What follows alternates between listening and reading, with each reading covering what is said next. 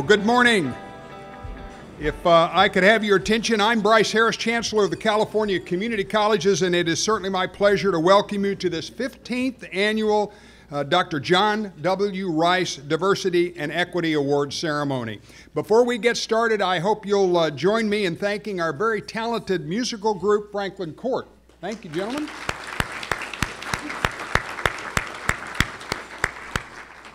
I really uh, also want to thank our special guests, uh, many of whom you will hear from later in the program, but I want to acknowledge uh, Dr. Rice's widow, Clara Rice,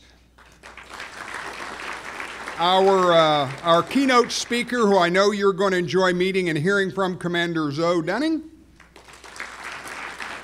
And uh, I want to acknowledge the president of the Foundation for California's Community College, Keetha Mills.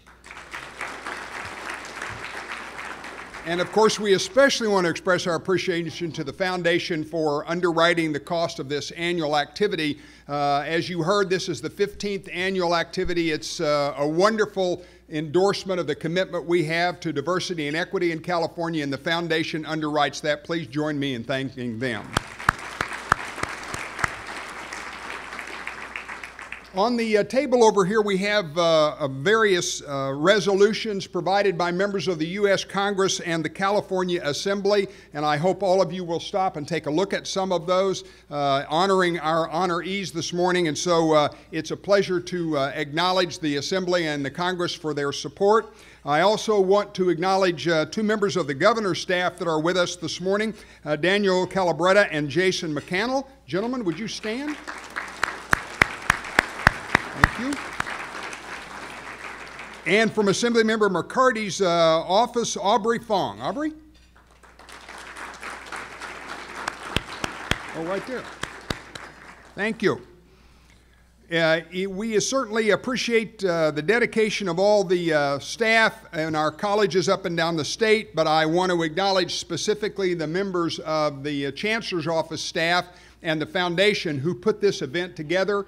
Uh, these events uh, don't happen by accident. They require a lot of hard work. And even when you do all that hard work, you can't plan for the power going off and the air conditioning with it. So we apologize if you're a little toasty, but uh, I think that uh, our honorees this morning uh, and our speaker will tell you that uh, sometimes the heat in the kitchen gets turned up pretty high. So acknowledge all the Chancellor's Office staff and Foundation folks who worked on this event.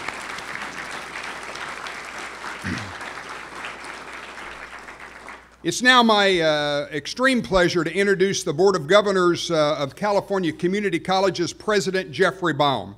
He has a long and proud relationship with the California Community Colleges. Jeff has served for 12 years as a member of the governing board, and uh, he's been on the he was on the governing board of the Pasadena Area Community College District for a dozen years and served two terms as their president. He works at the University of Southern California, where he is the managing director of the Center on Communications Leadership and Policy. He also served as director, serves as director of communication and public affairs for the Annenberg Foundation Trust at Sunnylands. His commitment and dedication to the California community colleges and the students of our great state is extraordinary, and it's certainly been a pleasure working alongside of him. Please welcome the President of the Board of Governors, Geoffrey Baum.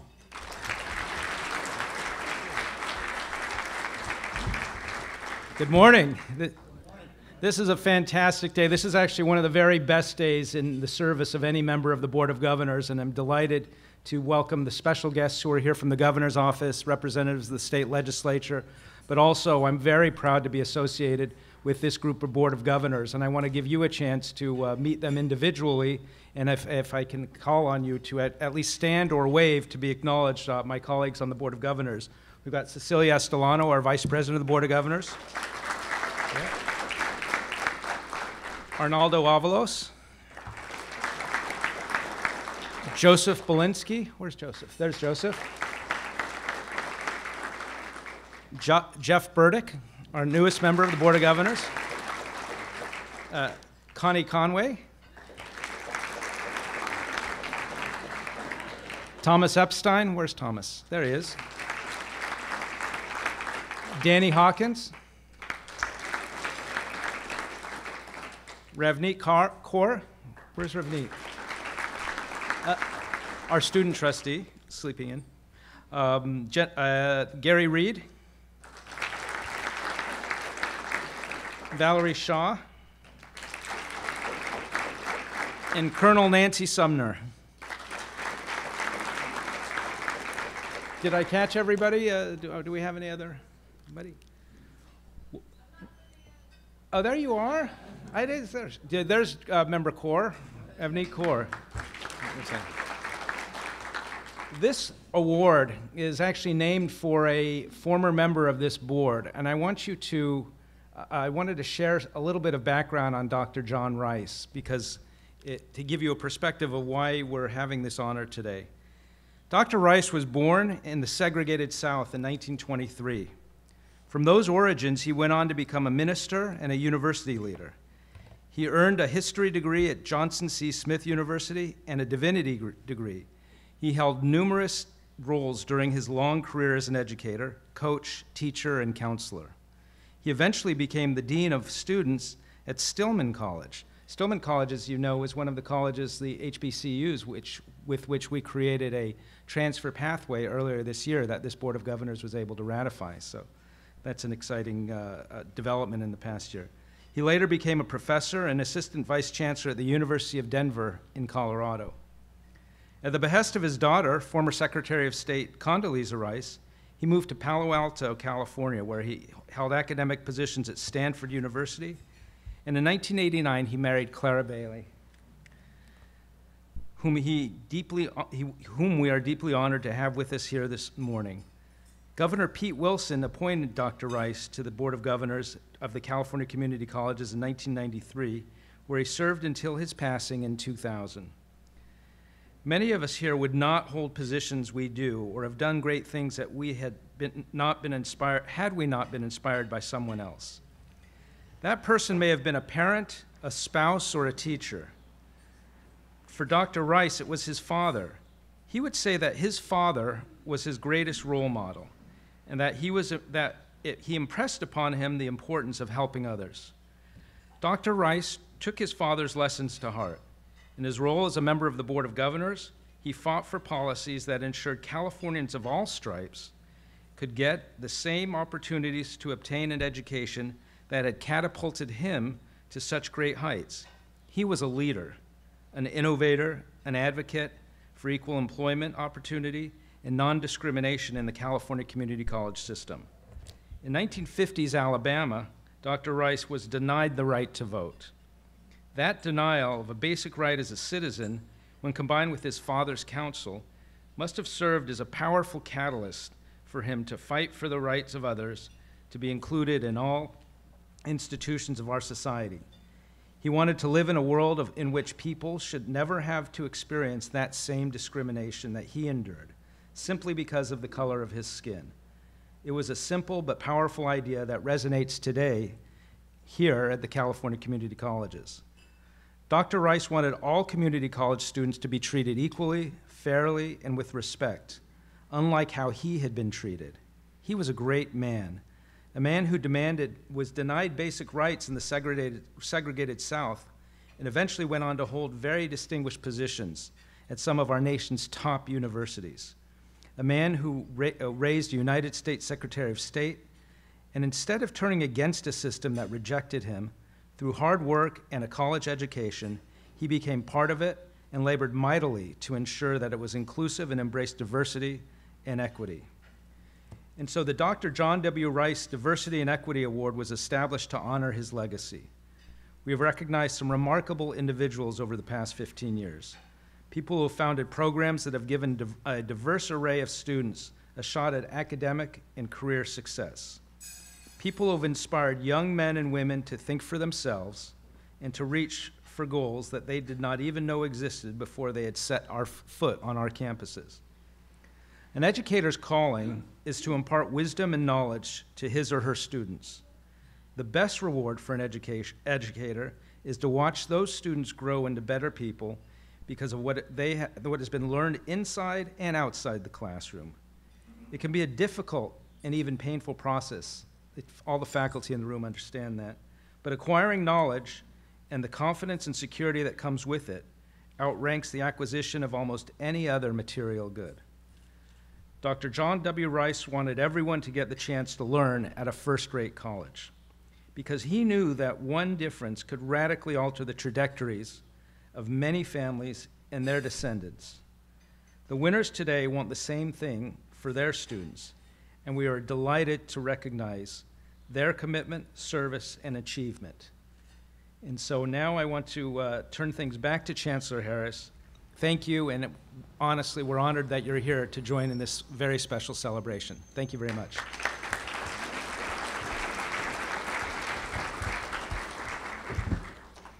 Thank you very much, uh, President Baum. And uh, I again want to express my sincere gratitude for the work of the Board of Governors. Uh, their uh, collective wisdom and guidance allow our colleges to provide a quality, affordable education to millions of Californians.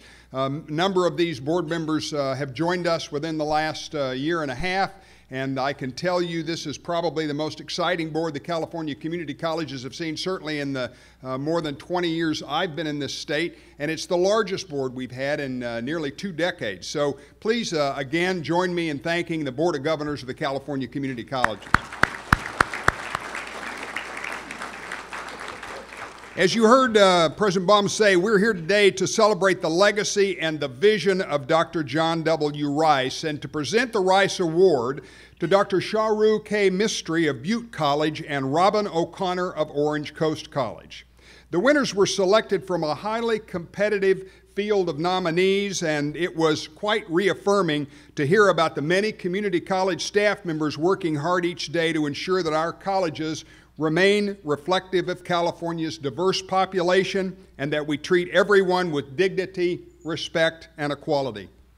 The California Community College's mission is to provide a quality education to anyone in the state who has the ambition to earn one. And that can not only be a rewarding mission, but also a challenging one. Our state is large and diverse, our campuses, like our state, are populated with people of different ethnicities, cultures, so- socioeconomic backgrounds, abilities, and who speak many different languages. I personally have found it tremendously enriching to be exposed to so many perspectives and believe that the diverse nature of our college system, state, and country is one of our major strengths. But diversity brings challenges. In several societies, diversity isn't welcomed or tolerated. It can be a cause of violence due to mistrust and paranoia and hatred of simple differences. And yet, we see what happens when diversity is embraced in a society.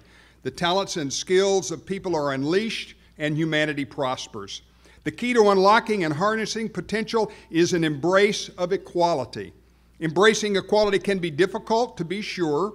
It means having to look past superficial qualities and treating others fairly. Our own country has its own struggles with embracing the simple virtue, but slowly and surely it has and will continue to do so, and as a society, we will be better for it. Liberating millions of people from slavery, extending the right to vote to women, passing the civil rights laws, enacting the Americans with Disabilities Act, and repealing laws that discriminate against gays and lesbians has been has taken all steps in the right direction. Progress came haltingly, but it came. And with it, suffering and prejudice were curbed, and human potential was unleashed. That is not to say that this country is a utopia, it is not. We still struggle with many things, but as a society, we set a powerful example to others in this world that great things can be accomplished through a national embrace of virtues, equality, diversity, and education. So the California community colleges have a prominent role to play in this country and in this state as we prosper. We have the complex task of providing an education to millions of people each year with differing backgrounds. This is the mission with which we have been charged. It certainly can be difficult to provide an excellent education to so many people to ensure that they succeed, and yet I think we're doing just that. It helps that our colleges cover the state. There are now 113 community colleges in California. Chances are a community college is located down the street from the recent high school graduate who wants to earn a degree or certificate, or the man or woman in town who wants to go back to school and get a second chance to turn their lives around. The California community colleges have always been up to the challenge of meeting these demands, of preparing a new generation to achieve great things, but serving so many people means we have to find creative ways of attracting, retaining, and graduating students. The winners of this award today show us just how to do that. One of those uh, winners, Dr. Mistry has helped to create a campus environment at Butte College that welcomes people of different backgrounds. He has helped the Butte College community learn about other cultures and expand their knowledge of the world. His efforts have paid off with surveys indicating that Butte College is a highly tolerant campus. Oftentimes, fear of the unknown can prevent prospective students from setting foot on a college campus. However, people like Dr. Mistry can help alleviate much of this fear by creating friendly and welcoming campuses. Professor Robin O'Connor is also doing her part to create a diverse and welcoming campus at Orange Coast College. She works in a kinesiology program to help disabled students improve their physical strength through exercise. She recruits volunteers to help her students with their exercise regimen. This reduces barriers between her students and the volunteers and eliminates stereotypes about physically disabled. Like Dr. Mistry, Professor O'Connor has done much to improve diversity and equity at Orange Coast, and we are proud of the work they have both done on behalf of our students. Today's winners responded to some of the challenges we face as educators in some innovative and successful ways. They've developed programs and hosted events that have enabled students of diverse backgrounds to succeed. There are plenty of innovative programs that the California Community Colleges system are developing that will certainly contribute to the success of students from all backgrounds in California. Expanding access to quality, affordable education benefits everyone. My strong belief is that our citizens have the ability to learn and grow if only given access to outstanding educational institutions. Our California community colleges offer students a tremendous education, one within grasp of a vast segment of our population. Dr. Rice was a visionary leader. He saw a growing state with millions of people, some of them very new to this country. Would we expand or deny access for these people of our institution, to our institutions of public learning? Dr. Rice chose a wise course, yet the hardest one and fought to keep the California community colleges as accessible as possible to anyone who wanted an education. He fought for inclusion, for access, for equity, and for diversity. History has shown that when societies include all members of their communities in their institutions, everyone benefits, and when societies don't, they suffer and decline. Recent events in our own country and across the globe have shown us what happens when equality and diversity are shunned and rejected. People suffer, ignorance and hate take root. Dr. Rice knew through his own personal experience that diversity, equity, and education were the best weapons against prejudice, ignorance, and suffering, and that the California community colleges were uniquely positioned to fight these social ills. And so, judging by today's winners, I think California's community colleges are doing their part to ensure that our citizens have access to the wonderful gift of higher education. Dr. Rice would be happy to know that his legacy lives on. And now it's really a pleasure for me to introduce uh, one of the uh, young and tenure members of the board, but someone who rose to leadership very quickly uh, a passionate leader uh, from Southern California who now uh, serves as of January as the Vice President of the Board of Governors. Please welcome Cecilia V. Estolano.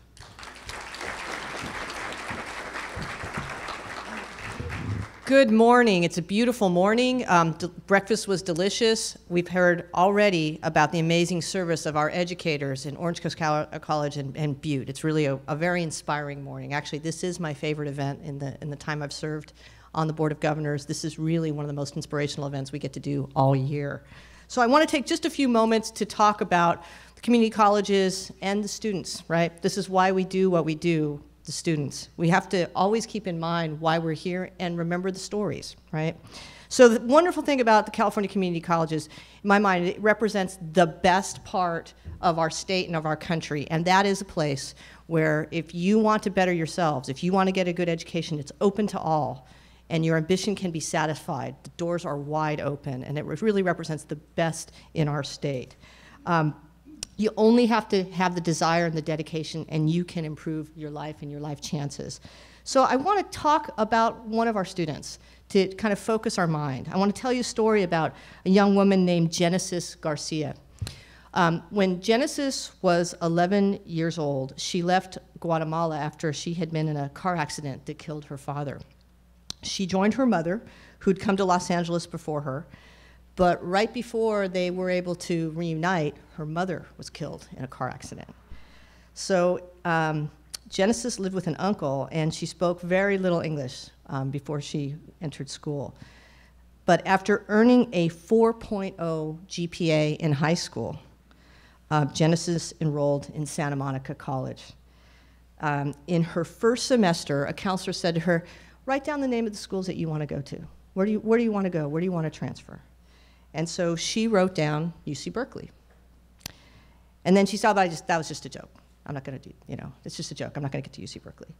But a counselor told her, no, that dream is going to become a reality. And sure enough, Genesis graduated with a 3.9 GPA and this fall, she's going to be attending UC Berkeley. So. These are our students, right? These represent the dreamers. These represent the optimists, the hardworking people that have made this state great and this country great.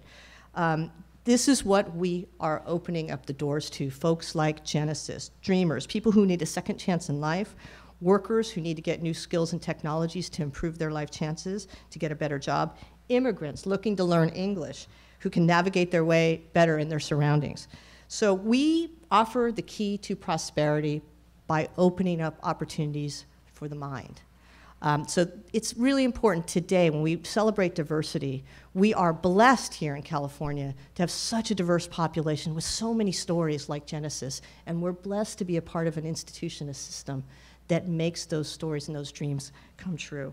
So with that, I want to thank you for being with us this morning, and it is my great pleasure to introduce my seatmate, Clara Rice.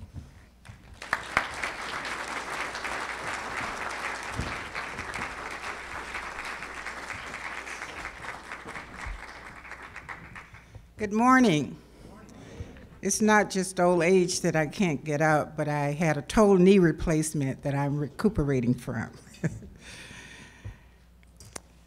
You know, I say this every year over and over again because it's true. It's a pleasure, an honor, and a blessing to be here once again in the celebration of my late husband's Diversity and Equity Award ceremony. It is almost inconceivable that this ceremony has continued for 15 years since 2001. I remember that it got started very small. I think it was in the boardroom, but it has gotten larger and better each year. And I want to acknowledge and thank key people who have made all of this possible. The president of the Board of Governors, Geoffrey Baum, Bond, President, Vice President Cecilia Estolano, Chancellor Brice Harris, and the president of the Foundation for California Community Colleges, Keetha Mills. Thanks, Keetha. Without the funds, none of this would be possible, not even the good breakfast that we had this morning. God bless you. I would like to thank the Communication Division, the Rice Award Committee. I'm not sure who's all on that committee, but I'm almost sure that Paige Dorr is the leader. This lady is a firecracker. As long as I've known her, she knows how to put things together and make them work. And I also want to thank Jonathan Calabretta, who is my personal contact person. He contacted me months ago and has kept me abreast of what, when, and where. He is almost as good as Tosh, who was my contact person from the beginning uh, until he retired a few years ago. Is Tosh in the building? He's not here this year. And I want to thank everyone here the cooks, the musicians, the volunteers, and our speaker today, Commander Zoe Dunning, and this lovely audience. My stepdaughter, Condoleezza Rice, was unable to make it this year, but I did bring some of my family members, my son, Greg, my daughter-in-law, Victoria, and my grandson, Christian. I think I might have mentioned this before. John had one child, a daughter. I had one child, a son. So before um, we got married, I think this is the way he was proposing to me. He said, Why don't you give me a son that I have always wanted, and I'll give you the daughter that you have always wanted? It was a deal, so we married. It was just the four of us in the wedding. Condi was my maid of honor, and Greg was John's best man. Um, for a long time, it was just the four of us. He didn't live long enough to see the family growing, thanks to Greg, because Condi told us it wasn't going to happen with her. Speaking of Condi, I always like to tell a little something about John uh, with a little humor so that you would begin to know what he was like uh, more on a personal basis.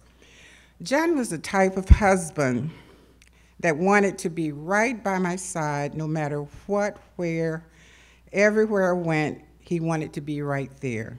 I almost got in trouble once when I told him that I needed some space. But anyway, the story goes that uh, Condi, John, and I would go to Stanford basketball games, and we would all sit together uh, but when football came, being the provost, they had a box that she could sit in with a guest. Now, uh, when we got there, Condi told John, now, you and I will sit in the box, and Clara, Lori, and Randy are going to sit on the bleachers. And John said in his booming voice, Oh no, my wife is going to sit with me, and I am not sitting on those bleachers. So Condi had to sit on the bleachers with her, with her friends, and John and I sat in the box. I really adore that man. he was one who would always speak his mind no matter who it was. Sometimes I think he's between uh, Martin Luther King and Malcolm X. He's not as passive as Martin Luther King and he's not as aggressive as Malcolm X, but he will tell you and anyone exactly what's on his mind. Now this brings me back to where we, why we are here, and that is to acknowledge the 2015 awards winner. I congratulate Dr. Sharuke, uh, I hope I'm pronouncing that right, Mistry from Butte, uh, Butte College. And I want to thank them for the hard work for forming committees, workshops, and conferences to promote diversity and equity on their campus, and I can't wait to hear more about this. And also to Professor Robin A. O'Connor from Orange Coast College. I want to thank them for being an advocate for students with physical and mental disabilities on their campus. What a great way to show diversity and equality for all students, and I'm waiting to hear more for them. So I'm not the speaker this morning. I'm going to take my seat and let the great speaker come up, but again, I want to thank all of you who had a part in making this day possible, and may God continue to bless each of you. Thank you.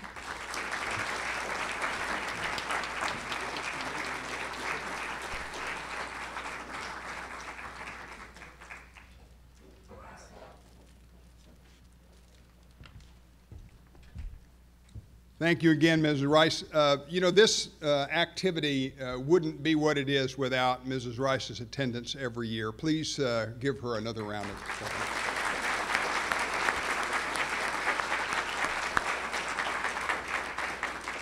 It's now my uh, distinct uh, pleasure to introduce the uh, main event today, the uh, retired U.S. Navy Commander Zoe Dunning. Commander Dunning has been a fierce national champion for equity. She graduated from the United States Naval Academy in Annapolis, one of the earliest classes that included women. After completing six years of active duty service, she transitioned to the Navy Reserves so she could attend Stanford's Graduate School of Business. In January of 1993, while still a student at Stanford, she courageously and publicly came out as a lesbian in protest of the ban on gay service in the United States military. One of the first military members to be prosecuted under the Don't Ask, Don't Tell law, Zoe successfully won her discharge hearing and continued to serve as the only openly gay member of the U.S. military for, 13, for the next 13 years. Not satisfied with protecting just her military career, she continued her advocacy by leading the Service Members Legal Defense Network as a national nonprofit dedicated to providing legal services to those impacted by the law as its governing board co chair.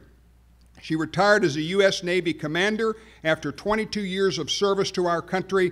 President Barack Obama honored Commander Dunning for her successful 18 year battle fighting for equality in the armed forces by asking her to stand next to him when he signed the historic Don't Ask, Don't Tell Repeal Act of 2010. Now, an interesting note her wife, Pam, incidentally, happens to be one of our colleagues at Foothill De Anza College, so Commander Dunning is a proud extended member of our community college family. Please join me in welcoming Commander Dunning.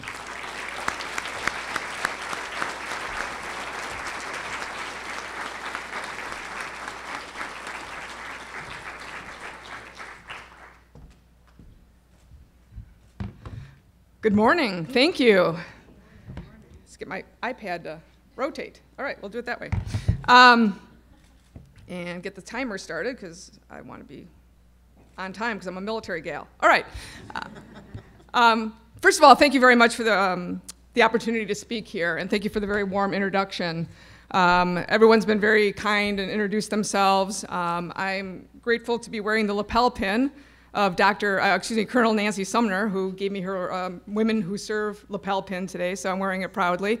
Um, I'd like to acknowledge all of the veterans uh, in the audience today who have served their country in uniform. Would you mind standing, please?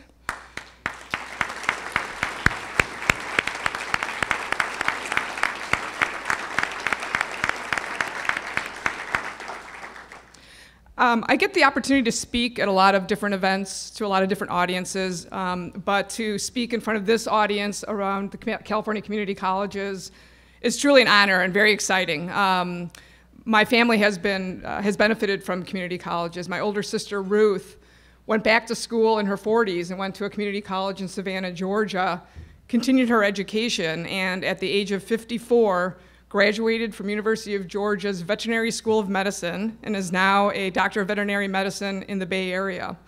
Um, also, my wife Pam not only works at Foothill De Anza, but she joined the Navy shortly after high school, did not go to college immediately, and went back to school as an adult at Chabot College, got her AA, went on to get her bachelor's, went on to get her MBA, and is now the director of purchasing at Foothill De Anza Community College. Um, she has a 45 mile commute from San Francisco each way down to Foothill De Anza, but nearly every single day she comes home and tells me, I love my job. Um, I joined the military for some of the same reasons that a lot of people join the military. Um, tradition. Both of my parents served during World War II. Um, my father was in the Army Air Corps, and my mother was actually in the second class of women to go through officer candidate school in Fort Des Moines, Iowa in 1942. Uh, also, finances played a role. I was the youngest of seven children. There was no money left for college. I was looking for a scholarship opportunity, and after I'd met a gal who had just finished her plebe year at West Point, the idea of going to a service academy sounded very intriguing, both for the education, the leadership development, but also the free tuition. Um, when I entered the Naval Academy, the very first class of women had just graduated in 1980. I entered in 1981. This is where you get the difference between tolerance and welcoming environments. We were tolerated there because Congress told them that we had to be there. It was not welcoming in any way, shape, or form. Men outnumbered women 13 to 1. Women were 7% of my class. I graduated in a class that had 1,000 men and 70 women. I graduated in 1985. President Reagan spoke at my, at my uh, graduation ceremony. It was very difficult being a woman at the Naval Academy, but I also realized while I was there that I was lesbian. And I also realized very quickly that if anyone found out, I would lose my scholarship, that I would lose my college education, And so I had to keep it very deeply hidden. And this to me was very conflicting because I joined the military because of the values that the military espouses.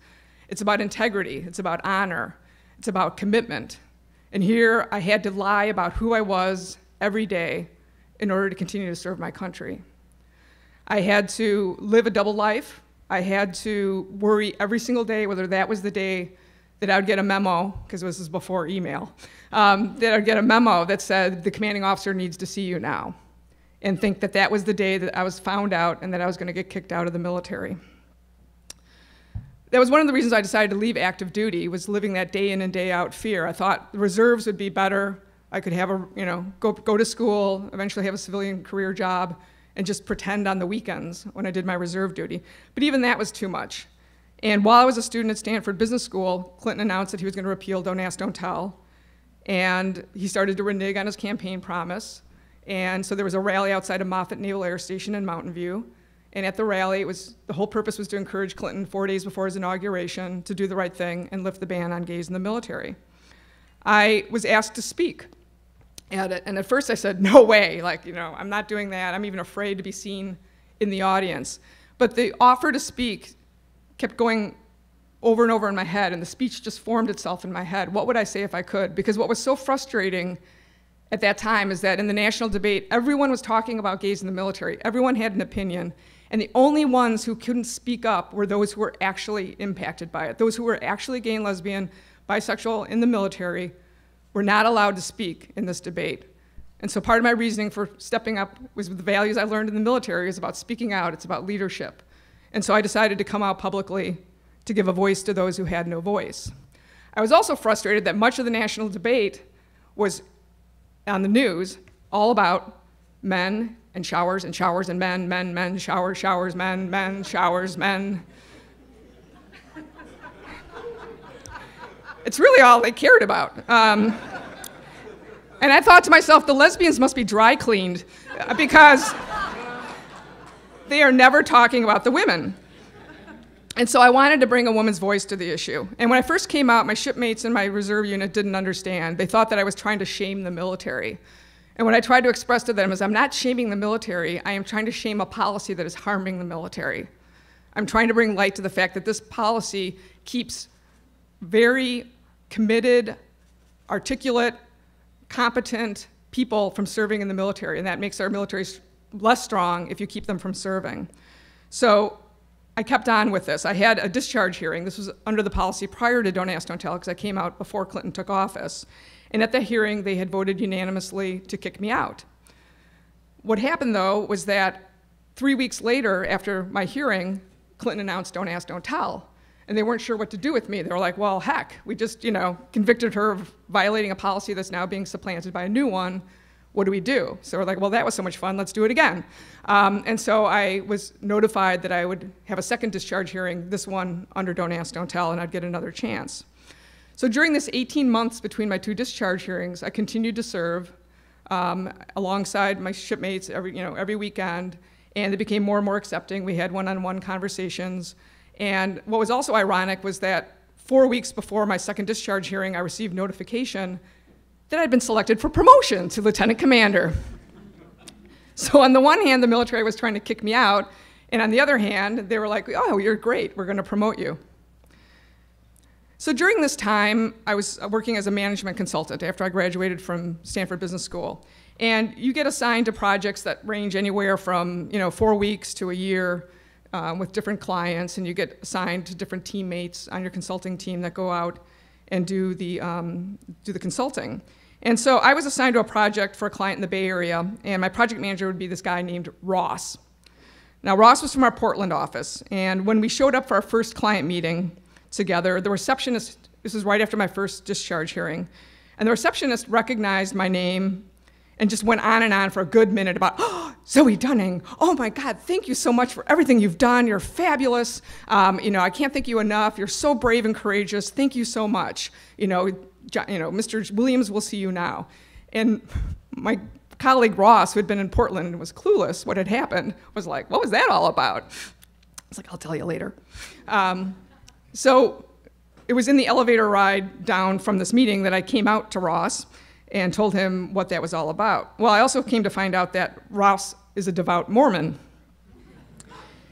And that we would be working side by side, traveling together, working late nights together for the next two months. And so began the education of Ross.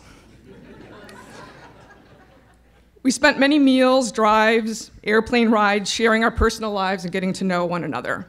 It was actually a safe zone to ask questions. He knew nothing about being LGBT, I knew nothing about the Church of Latter day Saints. I would ask, what would he do if one of his daughters came out to him as lesbian? He insisted that could not happen. He asked me in relationships whether I was the boy or the girl. I asked him, what's up with that underwear?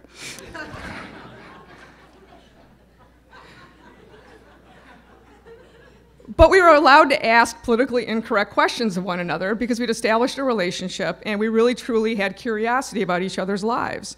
We became very close. I admired how committed he was to his family.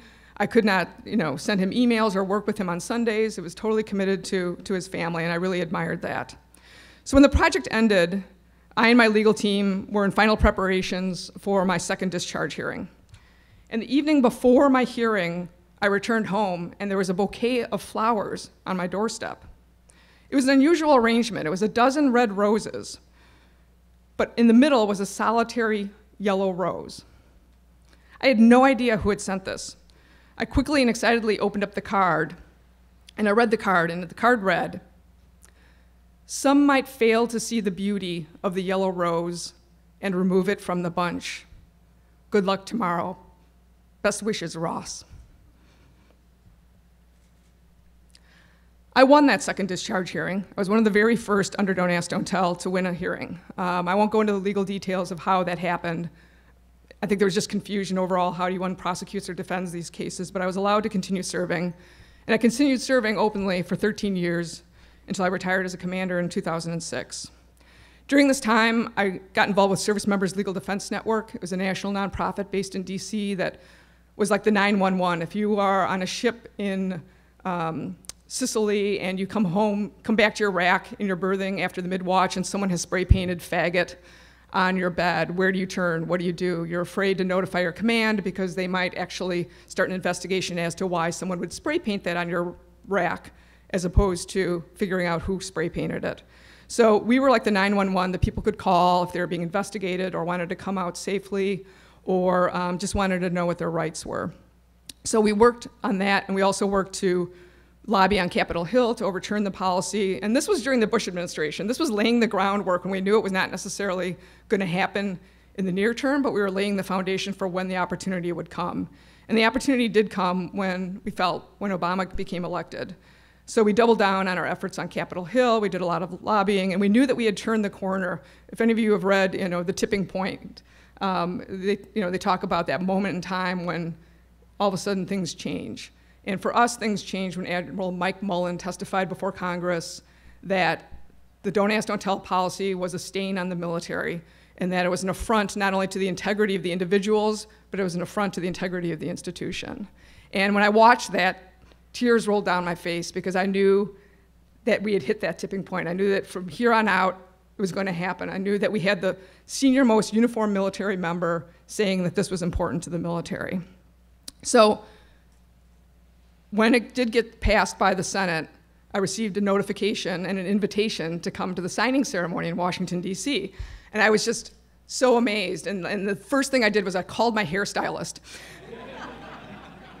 and I said, I know your salon's not open on Sunday or Monday, but I have to leave on a red eye Monday night for the signing ceremony. And he said, I'll get you in. So when I arrived, they notified me that not only was I going to attend the signing ceremony, it wasn't until after I arrived that they notified me that I was actually one of two veterans that were going to be on stage with the president when he signed the bill. So I was really glad that I got my hair done. Um, it was truly an honor. I couldn't believe that it was happening. Um, you know, I was up on stage like this, and I wasn't sure what to do with my hands or what to do, and there was a crowd, an audience of like 300 people in the auditorium, and just tears of laughter and tears of joy and tears of relief for people who had been kicked out, people who had worked on this issue, congressional staffers, everyone. And I got the benefit of seeing all of their faces, but I didn't know what to do with my hands. And um, so I thought to myself, WWND, what would Nancy do? so I look over at Nancy Pelosi, and I see that she has what I'll refer to as the prayerful fig leaf.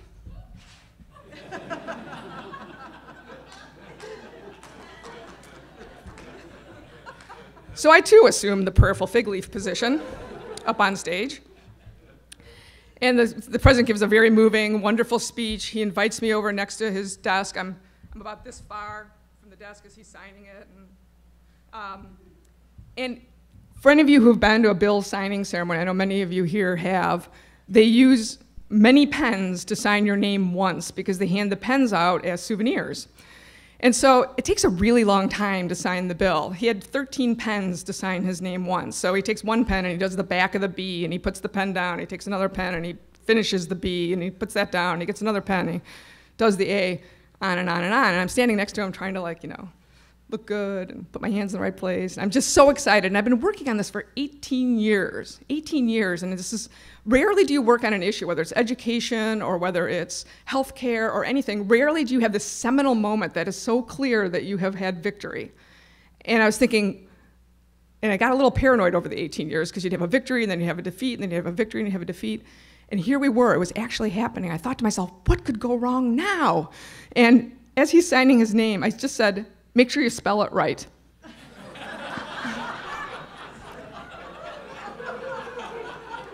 In my outside voice, to the President of the United States. Um, thankfully, he has a sense of humor, and uh, he laughed, and the Secret Service did not tackle me and remove me from the stage. Um, it was just one of the most amazing moments. Like I said, rarely do you have something that is that clear. And I do believe that the repeal of Don't Ask, Don't Tell paved the way for all of the victories that we are experiencing now for the LGBT community, um, whether it be marriage equality, transgender military service. The military just announced that they're looking at uh, lifting the ban on transgender military service. We recently had an announcement that Boy Scout leaders um, could be LGBT.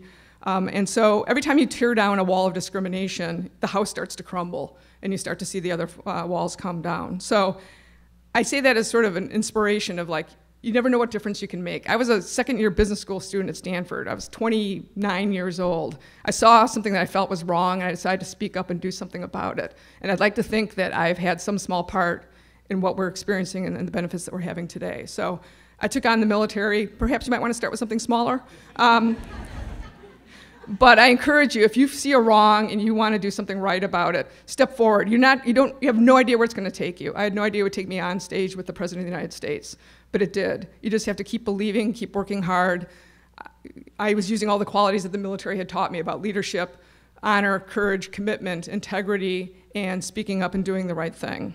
So today's awards are all about continuing that trajectory for the community colleges to address stereotypes, educate, create a welcoming and inclusive environment. Your awards state that they're about diversity and equity. And my wife and I had this conversation about what's the difference between equality and equity. And we, you know, recognize that when you look up the definition, it all talks about being just and fair or justice and fairness. And it differs from equality in that what is just and fair for one person or group may not necessarily be fair for another. And so back to the Rose story and Ross. A dozen red roses would be nice, but frankly, a little boring. You add the yellow rose, it makes it a little more interesting. Add some baby's breath, maybe some carnations, and it's a lot more vibrant. Look at the flower displays on your table there. Look how beautiful they are with all the diversity of colors and the different types of flowers. It's not easy to grow different flowers. Each flower needs different types of sunlight, might need different watering instructions, might need different types of soil and food. It's a lot more work. But it, let's not kid ourselves. Diversity, creating an equitable environment, it's a lot of work. It's not easy. But the end result is definitely worth it. We don't want the yellow rose to feel alone. We want the yellow rose to feel welcome.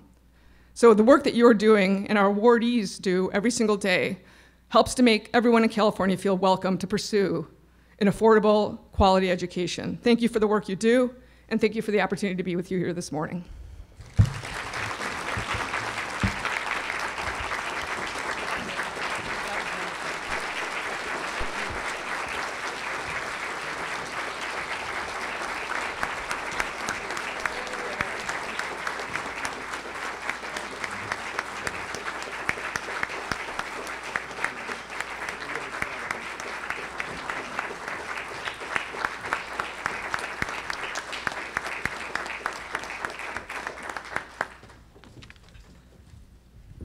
Well, that's not enough. Commander Zoe Dunning, one more round of applause.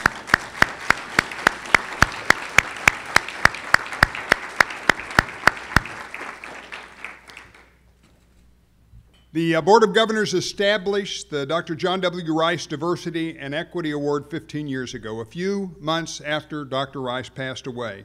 This award recognizes a community college staff member or program that has made a significant contribution toward faculty and staff diversity or student equity. Nomination forms are sent by the colleges to our office every spring, and a panel of volunteer readers from the Chancellor's office is assembled to go through the nominations and select the winners. There were a number of nominations, tremendous ones this year, but two were selected, and it's a pleasure first to ask Dr. Uh, excuse me, uh, Shoru K. Mistry from Butte College to please come to the podium and accept the John W. Rice Award.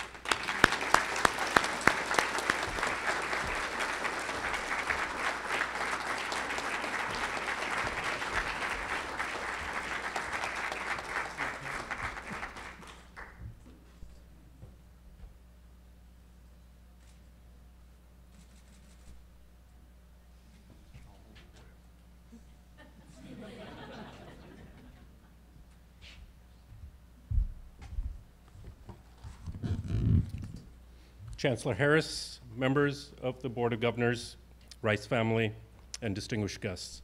I'm truly honored to be here today on behalf of Butte College, its faculty, staff, and students.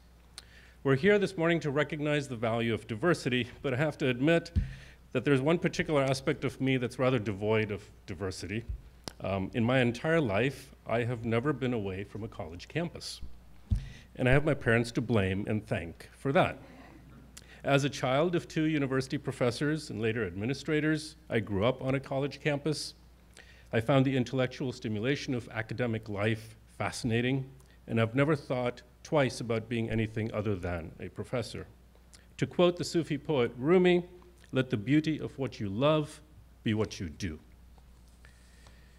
Some of my fondest memories growing up in this academic environment were the evening activities at our home my parents created an open space for dialogue that invariably saw numerous students from various disciplines, engineers, journalists, economists, political scientists, and more, come to our home in the evening to discuss issues ranging from child development to Shakespeare, from campus politics to international politics.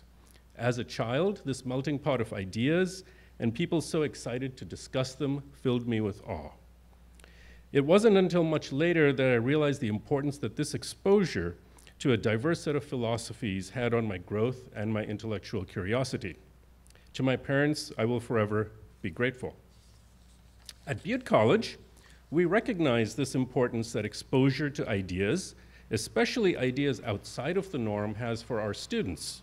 The Diversity Committee has been instrumental in creating an environment that fosters inclusion while also expanding horizons. For example, each spring we organize a week of talks, movies, art, and discussions to focus on issues relating to diversity and equity. Recent invited keynote speakers have discussed autism, bipolar disorder, being an Iranian Muslim in the US, poetry of war, gender violence, and much more. Over a thousand individuals attend these events each year, the vast majority of them students. But it is not just the invited speakers that makes Diversity Days so successful. Our faculty, staff, and students present as well on issues ranging from the new Jim Crow, the power of language in the LGBT community, classical Thai dance, and rethinking race and gender blindness. If we truly seek diversity, we must ask ourselves what makes us uncomfortable and then strive to incorporate that into our daily lives. That is what Diversity Days does, not just for our students at Butte, but for the entire campus. One's achievement is a testament to those who precede and those who surround. I am but a face to the Institute and people who have and do make diversity and inclusion key parts of Butte College. Our college recognizes diversity as a core value for the Institute. This award reflects the support for diversity initiatives on campus from the administration, our past president, Dr. Perry, current interim president Dr. Yacoub, vice presidents Al Renville, Les Jerome, David Danielson, and Dean Peggy Jennings-Sevier. Faculty and staff, including Aisha Taskaran, Laura Raposo Davis, Yvette Zuniga, and many, many others. Support from these individuals, as well as the associated students and incredible students like Giovanna Vera, make the work that I do so pleasurable and memorable. Finally, I love to cook. And it's vital when cooking to know when to stir and when to let things simmer on their own. Okay. Sometimes all it takes is the addition of a few spices and a little mixing for the flavors to come together and produce a wonderful dish with emergent properties. Our community college campuses are undeniably a melting pot. Let's add some masala and stir.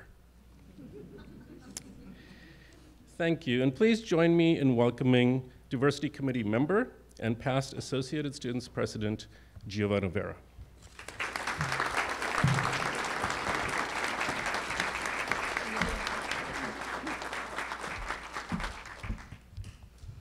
Hello, everyone. My name is Giovanna Vera, and I'm a former student of Butte College, and I'm here to talk about the positive influence Dr. Shrook Mistry had on my life. However, in order to understand the impact Dr. Shrook Mistry and the Butte College Diversity Committee had on me, it is important to first understand my background and my future goals. I come from a low income family. My mother was a teen mom, and my dad a college dropout.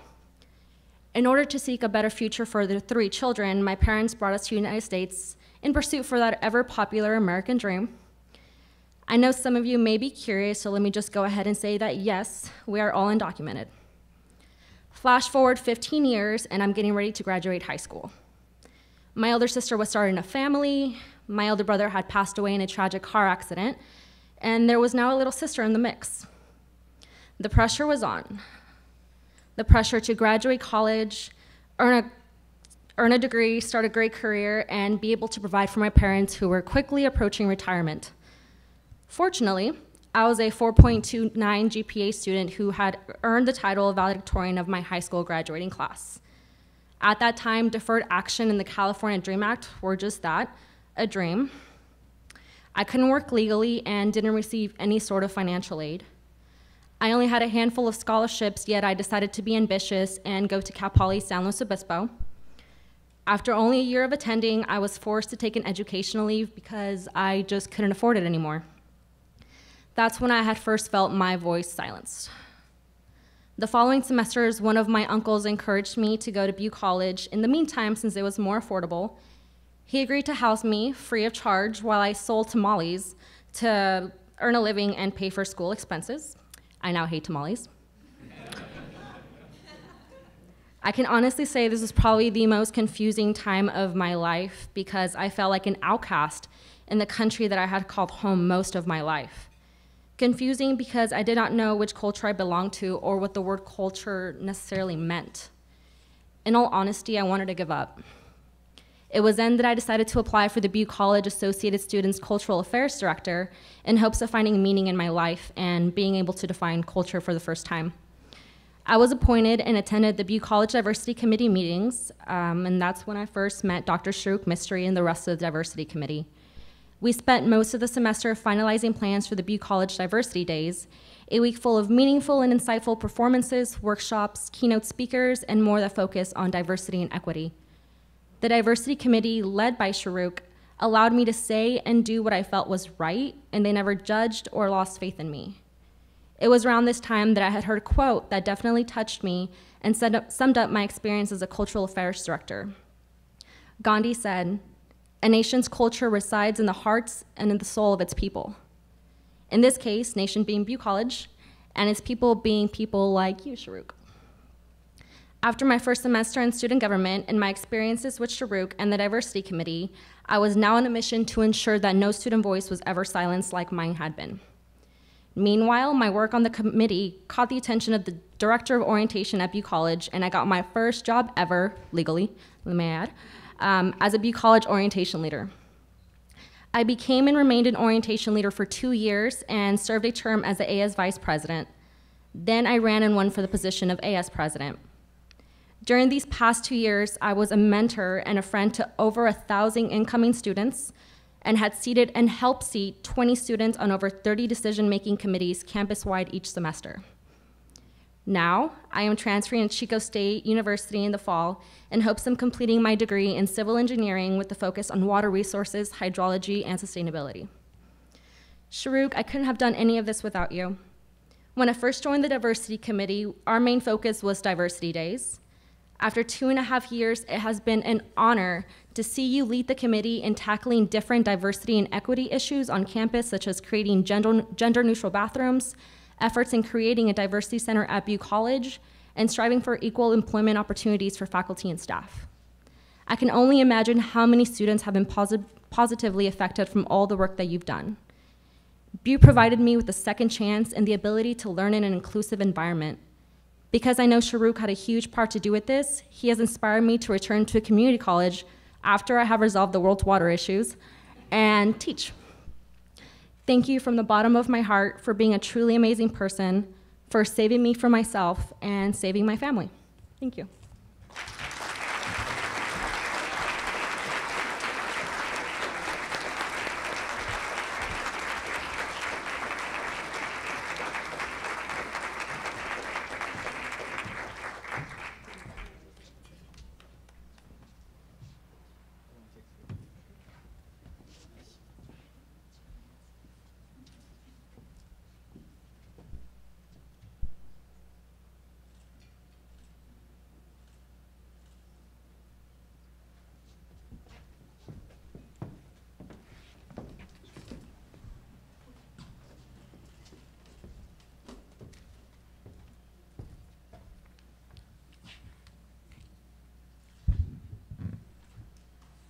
So it's a pleasure to uh, present our final award today to Professor Robin O'Connor of Orange Coast College for her work with the physically disabled students.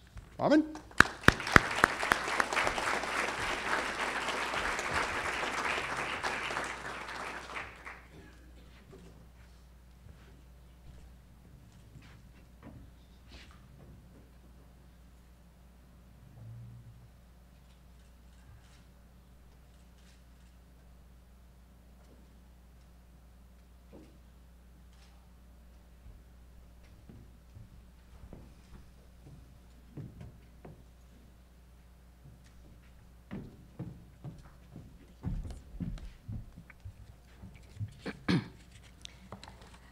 Since I got scolded about my hands yesterday, I think I should be doing this too. I'm going to try. I am sincerely humbled and honored to receive this award on behalf of Orange Coast College, our adapted kinesiology program, and our amazing students. Adapted kinesiology used to be called adapted PE. Some of you might know more by that name. We've aligned ourselves with the uh, CSUs when that number. I don't come here by myself. I didn't start this program. This program was started over 40 years ago. The first person to do it was Leon Ski, who just retired in the spring after 42 years of service. Um, Leon was my mentor and my teacher throughout my school at Orange Coast. Um, also, Mary Martin, I'd like to acknowledge her. She was before me with 11 years of service. We don't come to this by ourselves. People before us, people ahead of us, I stand on the shoulders of giants throughout the years that I've been at Orange Coast and before that, when the program was for the 40 years, we've gone through um, or brought ahead so many students. Students that were in our programs and then the students who assist in our programs. In my time alone, I calculated at more than 3,000 assistants. So kids who have come through from biology or from just being on the campus and wanting to volunteer. So the kids really benefit from this, and I uh, really appreciate it. And I'd like to introduce you to a couple of those students, because I think it's always more important to get the individual studies. An avid drummer, Jason was chilling with his band at his parents' home, which happens to back onto uh, the 405, if you know that area in Southern California. Upon hearing a loud crash from the freeway, he and his friends ran to see if they could help out. Keith placed his hands on the top of the fence to leap over to the road and landed very wrong. When he awoke from his coma, he was a paraplegic. His brain still very much intact. Uh, he was bored, he was angry, depressed, and dependent on his parents or a caregiver for his every need eating, toileting, bathing. He was encouraged, okay, maybe, maybe a little bit pushed by his mom, to take an adapted kinesiology class at OCC. There he found a safe home and a direction. He's married now to his sweetheart. He's bright, articulate, has a wicked, wonderful sense of humor.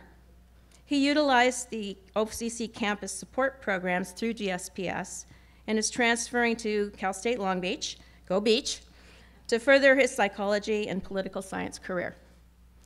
Alejandra is a responsible young Latina who has been an assistant in adaptive kinesiology for years and my personal friend. She also happens to be a dreamer, now with legal status, who is determined to be a physician's assistant. She is unswerving in her commitment to our students with disability, our program, and OCC. She's the eldest. She works two jobs. She also, I just learned, volunteers at Santa Ana College with other dreamers. Uh, she cares for two younger siblings, one of whom has autism, and struggles to keep up with the demands of her academics in a chaotic, economically challenged home environment. Alejandra is tough, but after so many years spent hiding in the shadows, OCC and adaptive kinesiology gave her a safe place to learn and to grow. She's transferring to Cal State Long Beach to finish off her bachelor's degree and get all her prerequisites for the University of California's Physician's Assistant Program. Robert, an African American wheelchair user whose twisted leg and back were the result of a tragic car accident that killed his best friend. At 19, he was living in a one room apartment with his single teacher, mom. He enrolled in our adaptive kinesiology classes to improve his strength and mobility to handle his academic load. He was doing well. He came to me a couple weeks into this third semester, exhausted and numb with shock. The night before, his mother had had a massive heart attack, and she died in his arms. He then struggled to stay in school, to stay on top of the legal and financial issues. He became homeless, lived out of his truck, showering in the OCC's locker room before attending his academic classes. Fortunately for all of us, his story has a good ending. He fought hard to resurface. He utilized several of OCC's support programs, including adaptive kinesiology, and finally graduated from OCC. He's now a working actor, and even better, he's learned to walk again. These stories are not unique, and these are not just my students, they're our students. And we collectively are entrusted to champion their right to safe access to a decent education. You've heard it from all of the other speakers. I think we can do a better job. I'm kind of with Zoe on this, job, this part. We can do better. Ethnically and culturally diverse, physically, economically, and socially challenged, bright, intelligent, directed, empathetic, gay, transgender, male, female, and all with the potential to be superheroes. Change the world, make their mark, become amazing citizens. They come to us just as they are, and it's up to us to listen to their needs and implement appropriate solutions. I'm reminded of the Bill and Melinda Gates Foundation tagline that I hear on NPR all the time. We seek to unlock the possibility in each individual. I think our community colleges can do that. I always say that everyone has a disability, some more visible than others. The degree of access to positive, inclusive support systems and programs on our college campuses will determine success or failure. I'd like to share with my check, or you with my checklist. This is what my personally, this is what I'm aiming for to be a rabid ally in the constant pursuit of equity and diversity. A rabid one, I like that word. To act as passionate leaders in the context of this pursuit. Work effectively in our campus groups and diversity committees. Educate, communicate, advocate for our students on is issues of equality and diversity utilize every opportunity to promote universal design concepts. This is extremely important in my world.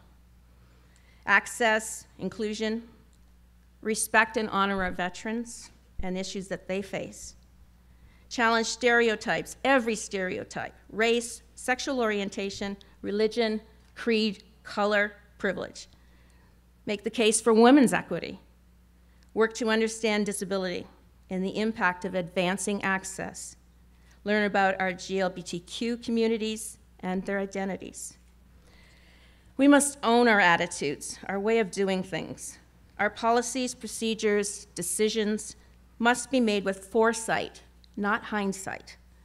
As Dr. Rice passionately fought for equity and diversity in education, we must fight on all of our campuses to develop and preserve a climate that is inclusive, safe, and favorable to the development of human potential of all faculty, staff, administrators, and students. We're on the right path with programs such as OCC's Adaptive Kinesiology, and we do a pretty fine job. Through the support of similar programs across the state, we will continue to do better for all of our students. Now I'd like to introduce you to my amazing student who has agreed to share her very own special story. Please help me welcome Julie Ferris.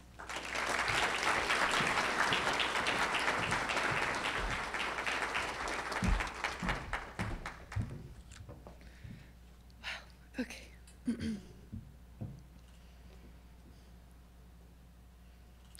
I was 19 years old when my life changed forever. I was a sophomore in college studying graphic design. I loved studying art, being independent, and working at a part time job. I was on my bicycle going to class when I was in an accident and sustained a severe traumatic brain injury. I don't remember much after that. I spent seven months in the hospital, five of those in a coma. After returning home, I spent the next year in various outpatient rehabilitations for both my physical and mental recovery. I basically had to relearn just about everything. My next step was attending the Acquired Brain Injury Program through uh, Coastline Community College. There, I had to face my challenges and learn strategies to compensate for my injury, such as, uh, wait, wait, wait, wait, wait, such as time management, social skills, and planning for my new future. It was through my physical therapist, who was teaching me to learn to walk again, that I was introduced to the Adapted Kinesiology program at Orange Coast College.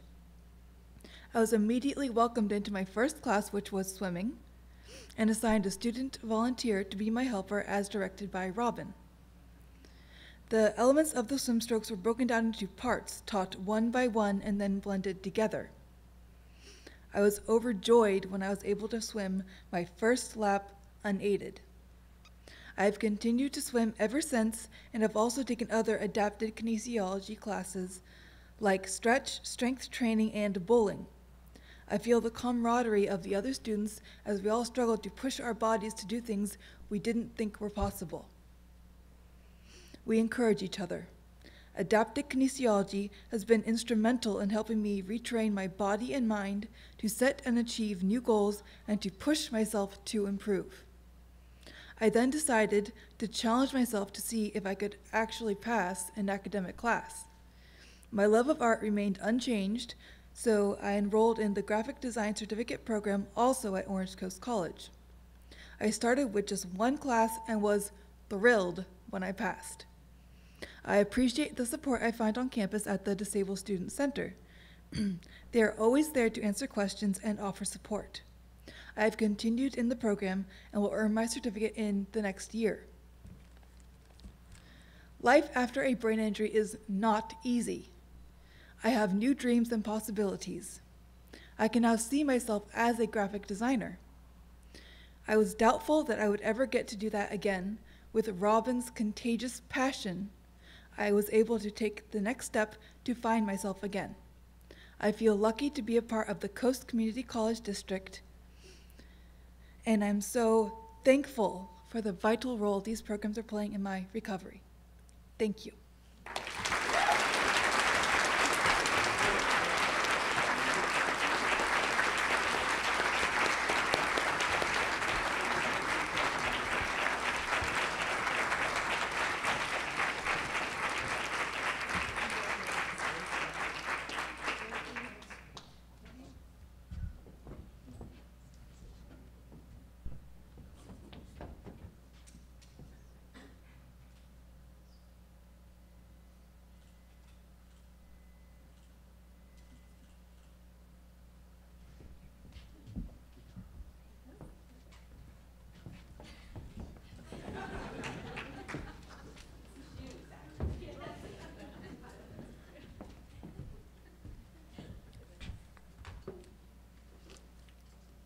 Let's congratulate again both our winners, Dr. Mistry and Professor O'Connor.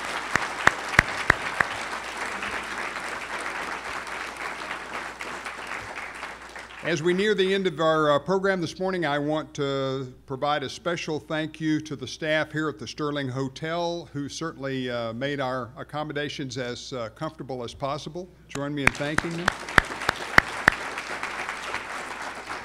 And I want to again thank the members of the Board of Governors, uh, Mrs. Rice and Commander Dunning for being with us today. This concludes our program, and I hope that this event has sparked or rekindled your drive to go out and make a positive change on your campus or in your community.